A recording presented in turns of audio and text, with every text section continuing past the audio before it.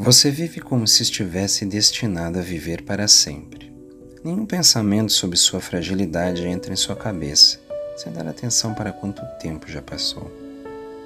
Desperdiça tempo como se dele tivesse um suprimento completo e abundante, embora aquele dia que você concede a alguma pessoa ou coisa possa ser seu último.